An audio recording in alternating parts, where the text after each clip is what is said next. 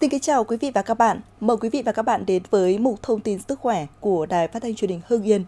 Thưa quý vị và các bạn, cuộc sống ngày càng hiện đại, con người cũng ngày càng quan tâm tới sức khỏe, chú trọng tới dinh dưỡng. Tuy nhiên, một số thói quen tưởng như lành mạnh lại đang gây hại cho sức khỏe của chúng ta. Sau đây là những thông tin cụ thể được tham khảo trên báo điện tử vietnamnet.vn.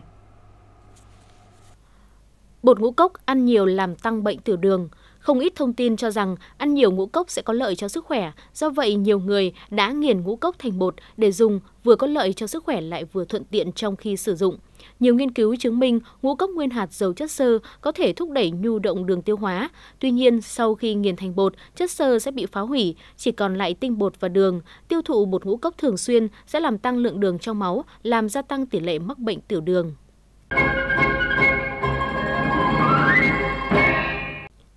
Ăn cháo mỗi ngày mất cân bằng dinh dưỡng. Một số người cao tuổi vì chức năng nhai kém nên ăn cháo quanh năm, thậm chí nghiên cứu các loại cháo thuốc để duy trì sức khỏe. Theo quan sát của chuyên gia dinh dưỡng, những người cao tuổi thời gian dài ăn cháo thường có cơ thể tương đối gầy, nguyên nhân là vì nhu động đường ruột kém.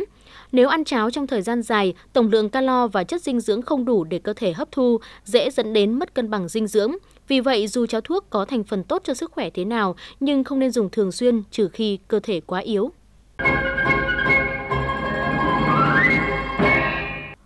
Bổ sung vitamin bừa bãi sẽ gây kết sỏi.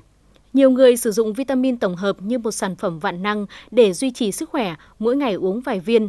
Thực tế, nếu cơ thể không thiếu vitamin, uống thêm vitamin là một sự lãng phí, thậm chí còn làm tình trạng tồi tệ hơn. Ví dụ, một lượng lớn vitamin C ở bệnh nhân bị loét dạ dày không chỉ không hiệu quả mà còn làm tăng sự kích thích của dạ dày. Thông thường, viên sủi vitamin C được sử dụng làm thuốc để cải thiện khả năng miễn dịch, nhưng chỉ những người bị thiếu vitamin mới cần được bổ sung. Một khi dùng quá liều vitamin C trong thời gian dài, nó cũng có thể dẫn đến kết sỏi ở đường tiết niệu và đẩy nhanh quá trình sơ cứng động mạch.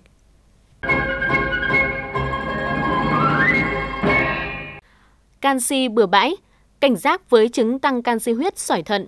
Nhiều người cao tuổi nghĩ rằng uống bổ sung canxi càng nhiều, xương càng khỏe, nhưng đây là quan điểm sai lầm. Theo khuyến nghị của Hiệp hội Dinh dưỡng Trung Quốc cho biết, nhu cầu canxi hàng ngày của người có cân nặng từ 50 đến 70 kg là khoảng 1.000 mg. Bổ sung canxi quá mức sẽ ảnh hưởng đến sự hấp thụ sắt và kẽm của cơ thể và cũng có thể gây ra các biến chứng như tăng canxi máu và sỏi thận. Trên thực tế, một chế độ ăn uống lành mạnh và cân bằng có thể cung cấp đủ canxi, bao gồm sữa, các sản phẩm từ sữa, các sản phẩm từ đậu nành và rau lá xanh.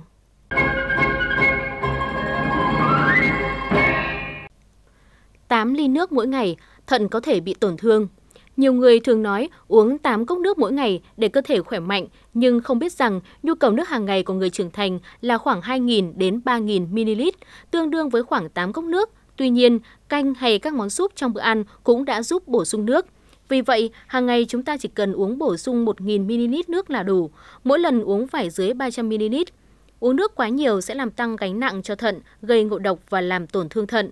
Quá lượng nước cơ thể cần cũng có thể gây ra hạ natri máu, gây buồn ngủ, buồn nôn, co giật và thậm chí hôn mê.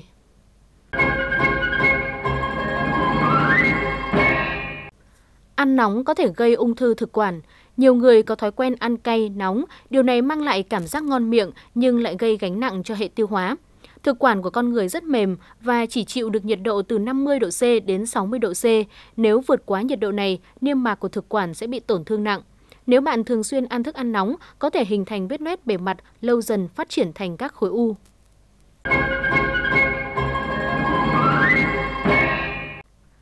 Đi bộ quá nhiều có thể gây tổn thương cho đầu gối. Các chuyên gia chỉ ra rằng đi bộ rất tốt cho sức khỏe nhưng phải nắm vững các phương pháp phù hợp, bởi đi bộ quá nhiều có thể gây tổn thương nhất định cho đầu gối. Đối với những người có thói quen tập thể dục, đi 10.000 bước không quá khó khăn. Ngược lại, nếu bạn đột ngột đi bộ quá nhiều, có thể phản tác dụng, gây tổn thương cho khớp gối, dây chằng và xương chân. Lời khuyên của các chuyên gia là bạn nên luyện tập từ ít tới nhiều cho cơ thể thời gian làm quen thích ứng. Quý vị và các bạn thân mến, trong chương trình ngày mai, mời quý vị và các bạn cùng đến với những cách để đối phó với trời nồm ẩm. Mời quý vị và các bạn cùng chú ý theo dõi. Một thông tin sức khỏe ngày hôm nay xin được khép lại tại đây. Thân ái chào tạm biệt.